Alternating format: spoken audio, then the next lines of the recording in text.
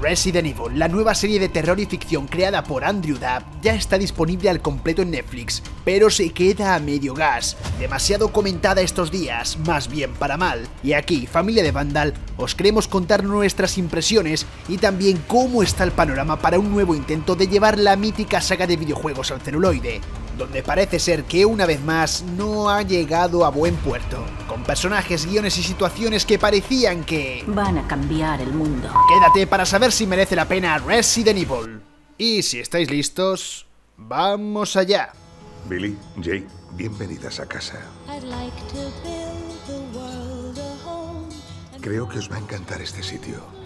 Resident Evil es uno de los proyectos más complicados de adaptar. No es fácil, en general, traducir el lenguaje de los videojuegos al cinematográfico o al televisivo. La saga de Capcom en particular posee toneladas de elementos narrativos que no se pueden trasladar a películas o series porque dependen del jugador. Desde los primeros compases de la saga, obliga al usuario a tener que explorar cada rincón para poder conocer los detalles de la historia que se está narrando mientras un puñado de zombies o monstruos nos acechan. Entonces digamos que hay un par de opciones, o bien uno se distancia del producto madre para generar nuevas historias en el celuloide, o por otro lado se intenta replicar lo visto en consolas y PC. Y aquí hablamos de Resident Evil Bienvenidos a Raccoon City, que optó por intentar seguir a pies juntillas lo que se reproducía en Resident Evil 2 y Resident Evil 3, un relato que arriesgaba más bien poco e intentaba caminar sobre seguro ligando la historia base de esas dos entregas con muchísimo terror.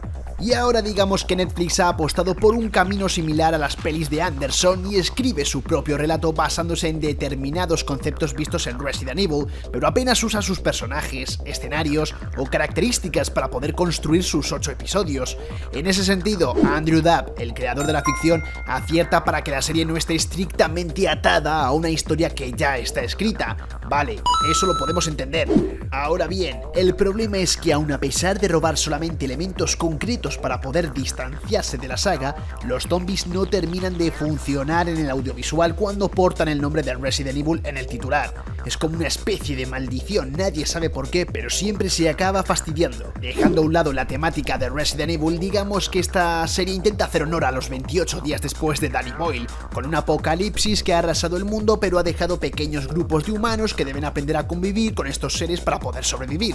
Incluso la misma Ejército de los Muertos de Zack Snyder plantea conceptos similares, y si se estudia la serie desde este ángulo, esta Resident Evil tampoco es un producto nefasto del que no hay nada que se pueda salvar, pero por desgracia ni con esas logra alzar demasiado el vuelo. Madre mía.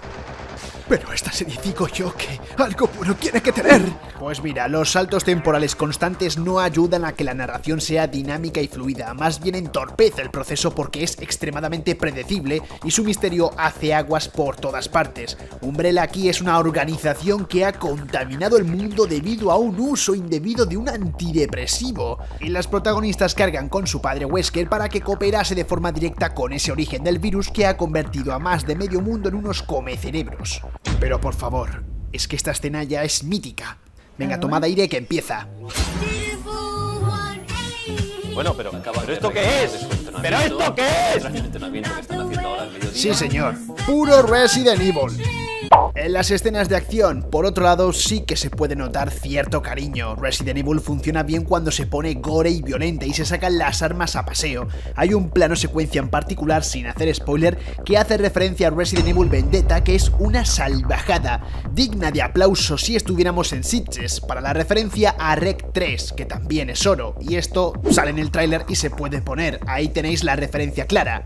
Y bueno, como os podéis imaginar, la serie no está siendo precisamente éxito. Este producto de Netflix posee una de las puntuaciones de audiencia más bajas registradas, con un total de 25% de valoración positiva por parte del público y un 51% de la crítica especializada. En Metacritic, un 1,7 de nota media de los usuarios, uno de los resultados más bajos. Para hacer una comparación con otra serie de Netflix, por ejemplo, The Witcher tiene en audiencia un 75% y en crítica un 81%. Ahí va la cosa. En resumidas cuentas y sin querer meternos en ningún spoiler, la primera temporada de Resident Evil fuera de la animación no ha terminado de cuajar. Está compuesta por una única temporada de 8 episodios y no sigue en absoluto lo que vendría a ser el libreto de los videojuegos. Un guion que no funciona, con situaciones disparatadas, del que únicamente toma prestados los nombres y los elementos principales de los juegos. ¿Habrá más capítulos y temporadas? Ya se verá. Muchísimas gracias familia de Vandal por haber visto este vídeo, esperamos que os haya gustado y dejadnos en los comentarios si habéis visto esta nueva Resident Evil, la serie de Netflix, qué os está pareciendo, porque os leemos siempre. Muchísimas gracias y nos vemos muy pronto.